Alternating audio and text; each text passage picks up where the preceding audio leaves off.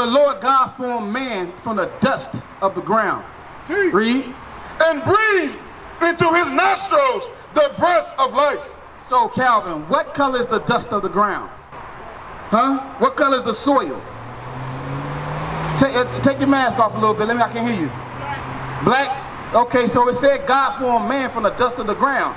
And, and, and the color of the ground is dark or uh, black or brown as you stated, right? Read on. And man became a living soul. Give me what created in his image. This is the book of Genesis, chapter 1, verse 26. And God said, let us make man in our image. In our image. So this is God having a council with the angels and his son Christ. Right. He said, let us create man after our image. Right. Okay, this is Genesis. Call it and read it. I mean, call it. This is the book of Genesis, chapter 1, verse 26. So now let's that's just the first book of Genesis. This is the first chapter in the book of Genesis. Now we're gonna go to the second chapter. Go back to two and uh, seven. This is the book of Genesis, chapter 2, verse 7. And the Lord God formed man of the dust of the ground. So the Lord God, he first he said, let us create him in our image. The image of God, they was created what? From the dust of the ground, which we established earlier that the soil of the ground is brown. And then the deeper you dig into it, it gets dark, it gets black, right? So this is the image God created man. All right, this is the book of Genesis, the very first beginning. Now let's go to Revelations 1 and 14. This is the book of Revelation, chapter 1, verse 1. The revelation of Jesus Christ. The revelation of Jesus Christ. The revealing of Jesus Christ. Right. Because growing up, what was you taught how Christ looked when you grew up? What was in your mother and your grandmother's house? Huh? A white man, right? But let's see if you can find it in the Bible. We're going to explain to you. Read. Which God gave unto him to show unto his servants things which must certainly come to pass. And he sent and signified it by his angels unto his servant John, who bear record. Bear record, meaning he recorded it. Now jump to verse 10. He recorded it, meaning he, he, he recorded it, he written it down. After he synced it, he, he told him to write it in a book. Read. Verse 10.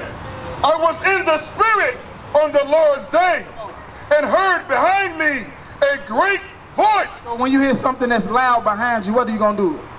You're going to turn and see. Read as of a trumpet, saying, I am Alpha and Omega, the first and the last. And what thou seest, what thou what? What thou seest, what thou what? What thou seest. So what you see with your eyes, this is John the Revelator recording what he seen with his own eyes. He bear record. Read. Right. Right in a book. Write it down in the book of Revelations. That's what that's what we're reading today. Read. That's right and send it unto the seven churches. Verse 14. Bring it out. His head and his hairs were white like wool. So the, the, the description of Jesus Christ, his head and his hairs was woolly. Right? Now look on that sign right there. Which one is, look at the one that you was taught growing up, and then look at the one at the other image. Who is, who, who, who fulfilled that prophecy so far? Who fulfilled that? Read as white as snow. So white is the color and wool is the texture of Jesus Christ's hair. Read on. And his eyes were as a flame of fire. Jesus Christ's eyes was as a flame of fire because he drank wine moderately. That's why when you see brothers, they drink wine, they eyes, the whites of their eyes turn red. All right, read. And his feet. And his what? And his feet. And his what?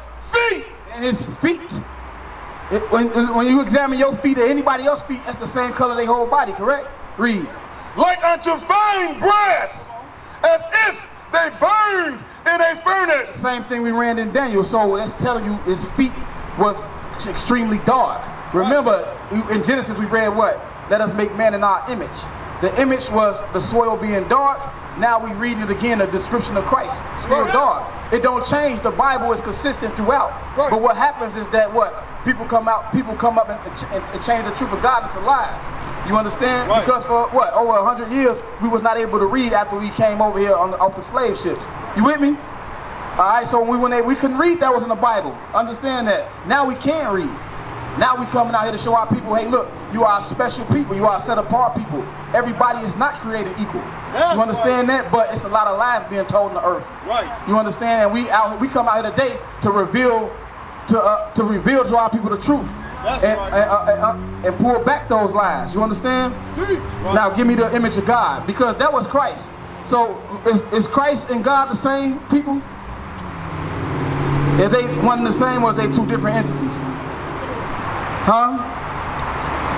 Give me uh, Daniel chapter 9.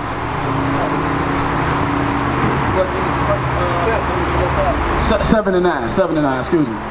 The- now we're finna get the Father of God. We just read, excuse me, the Father of Christ. We just read how Christ looked, the Son, the Jesus the Christ who walked the earth was a black man. Right. Okay? And we challenge anybody out here to say any otherwise. Jesus Christ was a black man That's from right. the tribe of Judah. Right. He wasn't no Caucasian. He didn't come from the Caucasus of Mountains. Read. This is the book of Daniel, chapter 7, verse 9. I beheld till the thrones were cast down, and the Ancient of Days did sit. Who is the Ancient of Days? Who is the Ancient of Days, bro? Huh? Who is the Ancient of Days? The Most High God is the Ancient. He's before days. You understand that? He is before days was made. God is the Ancient of Days. Read. whose garment was white as snow, and the hair So, uh, what's your name again, bro? Calvin. Right, Calvin. So remember, you said you said God was a spirit, right? So in order for God to have a body on, what I mean, for God to have a garment on, he had what? Where all these babies at? Huh? For, for you to have garment, uh, for you to put clothes on your body, what you must have? But For you to put clothes on, nobody changing none of that. huh? All these babies there. What must you have to put clothes on? You must have a what? A body to put the clothes on. You with me? Read. and the hair of his head What no babies like the pure wool. Where all these So the head of his head is like the pure wool. This is the Most High God. We just read the image of Christ. Now we reading about the Most High, His Son, the, the Father and the Son, the same image, and that's what you are. You made what's in the image of them. Then you remember showing you what you are. Uh, you are a, a child of God. So now I ask you, is everybody a child of God? Look at all these babies Is all nations a child of God? I ain't listening to no. Huh? I can hear you. Motherfuckers out here back then. All nations? They stuck. Let me give me De- uh, Deuteronomy 7 and 6. Some real gangsters out here back then. Look at all these babies there. Sister, Look at all hey, these babies we, hey, you ain't look. You just walked up, sister. We was talking about that earlier, and the brother had a question. We giving solutions out here, but if you you look, listen, sister, you will have to humble down. It is a solution. God loves the solution. Put all Read. them old gangsters back This out is here. the book of bet these niggas gonna be Deuteronomy, dead. chapter 7, verse 6. Hey, sister. Hey, what's your name, sister? Oh, don't worry about what my name is. Put all these old gangsters back out here. I bet none of these babies won't be dead. Okay. Look, listen, sister. What about if we apply God laws? I'm finished edifying a brother. Because remember, I've made a statement that we are not just equal with everybody else.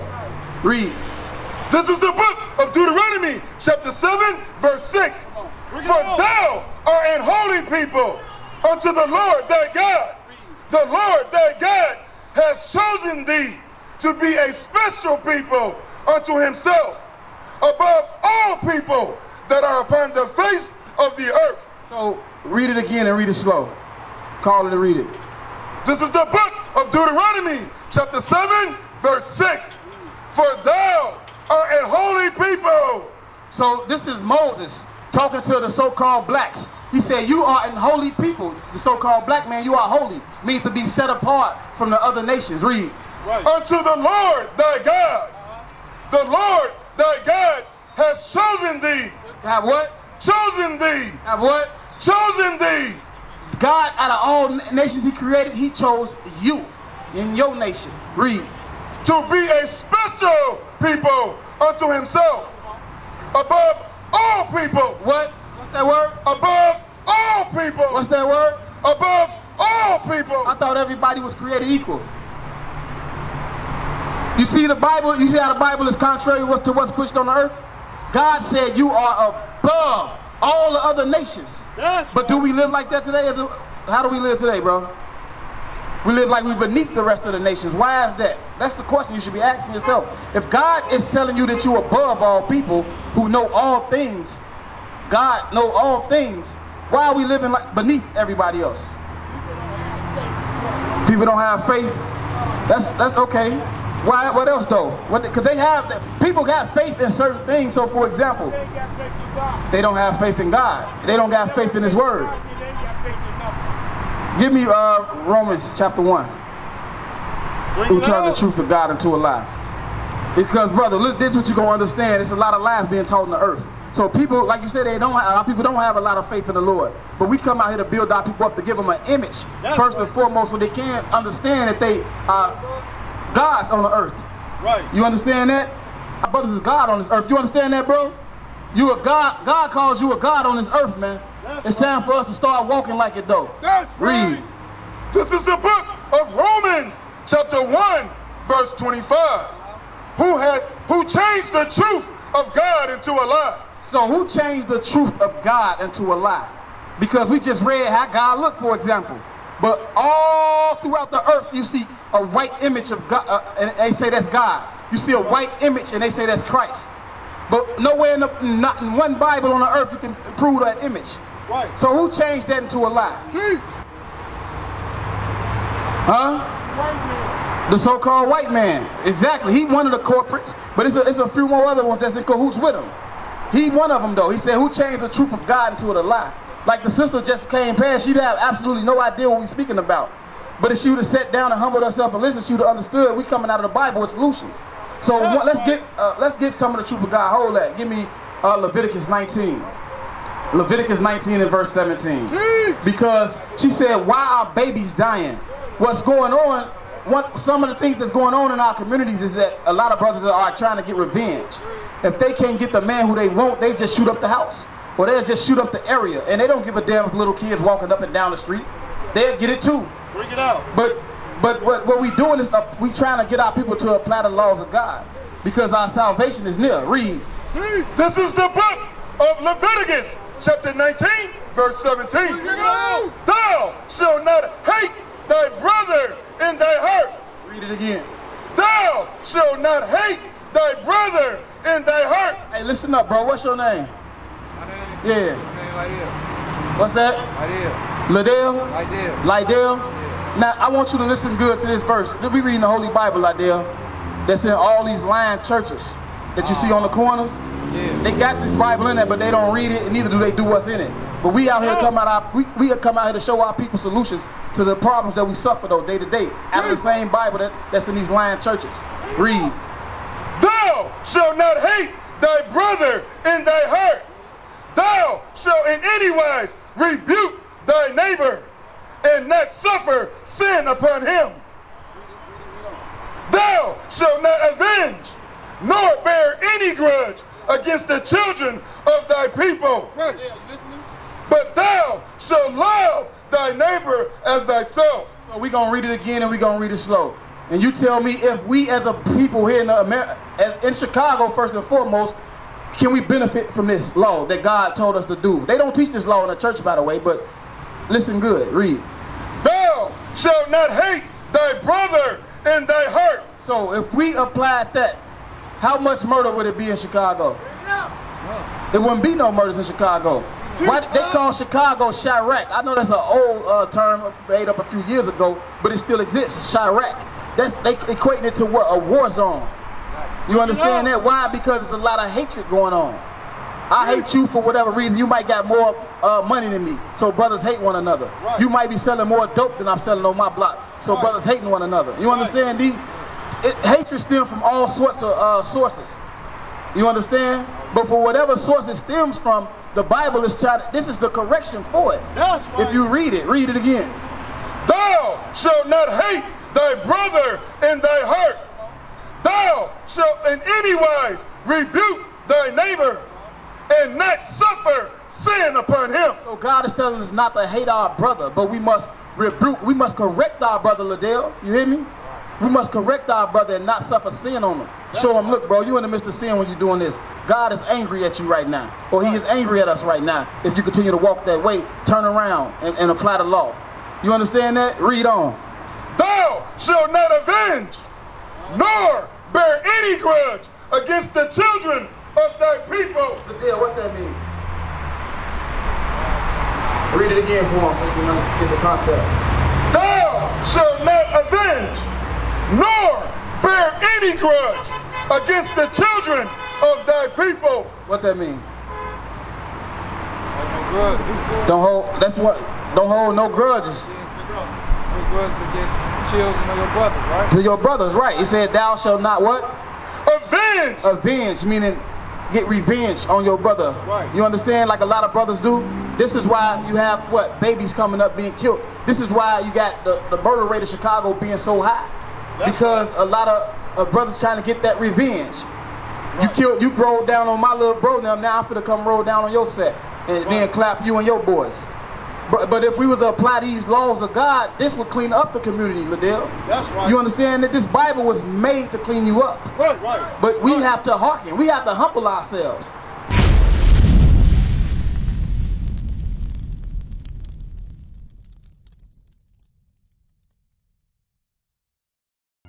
We used to scream black power while heroin was pushed. But at the end of the day, nothing's in vain. IUIC has been given a vision. The tents of Judah has risen. Many has attempted the mission, minor murmuring, omitting, and missing the mark. Just reading that he had the flame of fire in his eyes gave us the spark. We on Paul's mission.